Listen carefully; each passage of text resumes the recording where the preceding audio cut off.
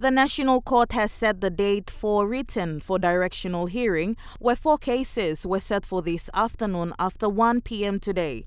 These four cases, the first election petition case before Justice Joseph Yagi this afternoon was election petition number 34 for the Nuku Open Electorate election petition.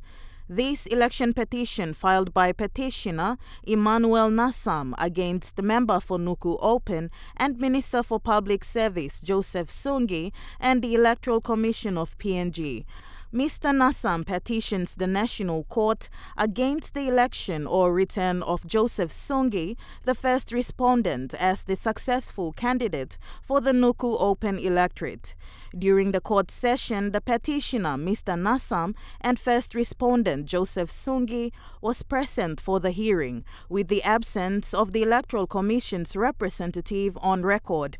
Matter as listed for directions hearing, lawyer representing Nasam, counsel Nandape Judy, circulated the direction order draft to the two parties today, where she seek an adjournment from the court to give ample time for both Sungi's lawyer and the Electoral Commission to review the draft and return on another date. Meanwhile, Justice Yagi directed a question to Electoral Commission's lawyer asking him whether the notice he filed was outside of the prescribed date.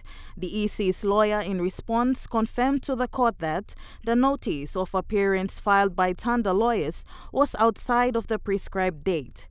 Justice Yagi, in response, struck off the Electoral Commission's notice of appearance. The court's ruling is now for the case to return on the 19th of October.